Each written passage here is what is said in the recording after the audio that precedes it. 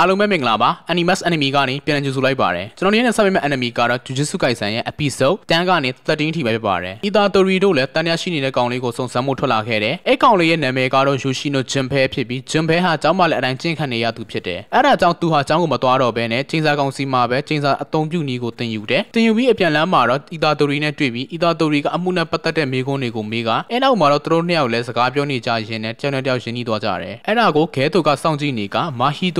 ဟီတိုက Junpei ကို Jujutsu ပညာရှင်တွေနဲ့တငယ်ချင်းလို့ပြောခဲ့တာကြောင့် Junpei က Itadori နဲ့ရောနေခဲ့တာပဲဖြစ်တယ်အဲ့ချိန်မှာ Junpei ရဲ့အမေရောက်လာပြီး Itadori ကိုထမင်းတူတူစားဖို့ခေါ်တယ် Itadori လည်းပိုက်ဆာနေတာကြောင့်လိုက်သွားပြီးသူတို့၃ယောက်သာပျော်ပျော်ရွှင်ရွှင်နဲ့ညစာစားနေတာကိုတွေ့ရမှာပဲဖြစ်တယ်တစ်ဖက်မှာတော့နာနာမီနဲ့မာဟီတိုတို့ကအပြင်းထန်တိုက်ခိုက်နေကြတယ်နာနာမီကကျင်းစာကောင်းနဲ့တိုက်ခိုက်ရတာကိုစိတ်မရှိတော့တာကြောင့်သူ့နှက်ကတိုင်ကစွမ်းအားတွေပါထုတ်သုံးလိုက်ကနေရန်ကိုထိုးလိုက်ပြီးကျင်းစာကောင်းရဲ့ခြေထောက်ကိုဖြတ်လိုက်တယ်သူလည်းထွက်သွားပြီးမာဟီတိုကိုကြောက်တုံးတွေနဲ့ဖိလိုက်တယ်နာနာမီလည်းမာဟီတိုနဲ့တိုက်ပွဲကြောင့်ဒဏ်ရာရရှိသွားခဲ့တယ်တစ်ဖက်မှာတော့ Itadori နဲ့ Junpei ဟာစကားတွေဆက်ပြောနေခဲ့ကခဏနေတော့ Itadori လည်းပြန်သွားပြီး Junpei တို့သားမိလည်းအနားယူကြတယ်သူမပြန်နိုးလာတော့သူမရဲ့ရှေ့မှာစကူနာရဲ့လက်ချောင်းရှိနေခဲ့ပြီးအနောက်မှာတော့ကျင်းစာကောင်ရှမ်းနေတာကိုတွေ့ရမှာပဲဖြစ်တယ်နောက်တော့ခန်းမှာတော့ Junpei အမေရဲ့အလောင်းကိုတွေ့ရမှာဖြစ်ပြီး Junpei ကိုတော့မာဟီတိုကကျင်းစာလက်ချောင်းနဲ့ပတ်သက်ပြီးရှင်းပြနေခဲ့ကတန်ရရှိသူကိုမေးတော့ Junpei လည်းကျောင်းကသူ့ကိုအနိုင်ကျင့်ခဲ့တဲ့ကောင်လုတာလို့ပဲထင်သွားတယ်အဲ့ဒါနဲ့သူလည်းကျောင်းကိုသွားပြီးသူ့ကိုအနိုင်ကျင့်ခဲ့တဲ့ကောင်ကိုတပ်ဖို့လုပ်တယ်အဲ့ချိန်မှာ Itadori ရောက်လာပြီး Junpei ကိုတားတယ် Junpei ကပြန်လဲတိုက်ခိုက်တာကြောင့်သူတို့နှစ်ယောက်တော့တိုက်ခိုက်နေခဲ့ရပြီး Itadori ကဘာကြောင့်သူဒီလိုတွေလုပ်နေတာလဲလို့မေးတော့ Junpei လည်းသူ့မိကားတည်သားပြီးဖြစ်ကြောင်းပြန်ပြောတယ်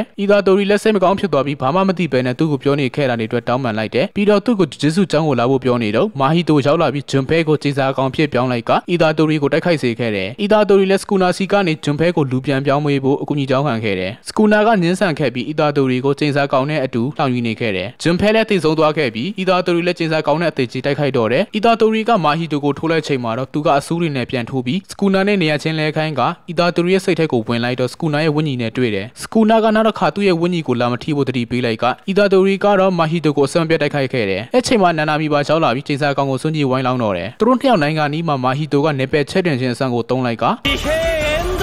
နာနာမီကိုဖမ်းမိသွားတယ်နာနာမီလည်းတေးပြီးဆိုပြီးတွေးနေတော့ Itadori ကအပြင်ကနေချက်တင်ခြင်းအစံကိုဖောက်ဝင်လာခဲ့တယ်အဲ့ချိန်မှာ Mahito က Itadori ရဲ့စိတ်ထဲထပ်ဝင်လိုက်တော့ Skuna က Mahito နောက်တစ်ခါထပ်ဝင်လာလို့ဆိုပြီးဒဏ်ရာရအောင်လုပ်လိုက်တာကြောင့်နေပင်ချက်ထွင်ထားတာလည်းပျက်စီးသွားတယ်မာဟီတိုလည်းနောက်ဆုံးကျန်တဲ့ချင်းစာအစွမ်းကိုတုံးတော့အီတာတိုရီလည်းခွဲဖြတ်လက်သီးနဲ့ထိုးလိုက်တယ်ဒါပေမဲ့မာဟီတိုကမသေးဘဲနဲ့ထွက်ပြေးသွားခဲ့တယ်မာဟီတိုကိုလိုက်ဖို့လုပ်ပေမဲ့အီတာတိုရီကမေလဲသွားတာကြောင့်နာနာမီလည်းအီတာတိုရီကိုအရင်ကူဖို့ဆုံးဖြတ်လိုက်တယ်အီတာတိုရီတတိပြန်လာတဲ့အချိန်မှာတော့တည်သွားတဲ့လူတွေရဲ့အလောင်းတွေကိုကြည့်ပြီးစိတ်သက်ကြနေခဲ့တယ်အဲ့ဒါနဲ့နာနာမီကအီတာတိုရီသာမကယ်ခဲ့ရင်သူဒီနေ့သိနေပြီဖြစ်ကြောင်းနဲ့နောက်ကျရင်အီတာတိုရီရဲ့အကူအညီကိုလိုအပ်သူတွေဟာအများကြီးရှိလာမှာဖြစ်ကြောင်းပြောပြီးနှစ်သိမ့်တယ်သူကဆက်ပြီးအီတာတိုရီဟာအခုဆိုရင်ဂျေဆုပညာရှင်မှာဖြစ်နေပြီလို့ချီးကျူးလိုက်တယ်နောက်နေ့ကျတော့အီတာတိုရီလည်းဂူးဂျုံနဲ့နာနာမီတို့ကိုတွေ့ချိန်မှာတော့သူဘယ်တော့မှထပ်ပြီးမရှုံးစေရတော့ဘူးလို့ဆုံးဖြတ်ချက်ချလိုက်ကပီဆုတ်13လမ်းပြီးဆုံးသွားတယ်အဆုံးထိရှုပေးခဲ့ကြတဲ့တော့တငယ်ချင်းတို့အားလုံးကိုအထူးပဲကျေးဇူးတင်ရှိပါတယ်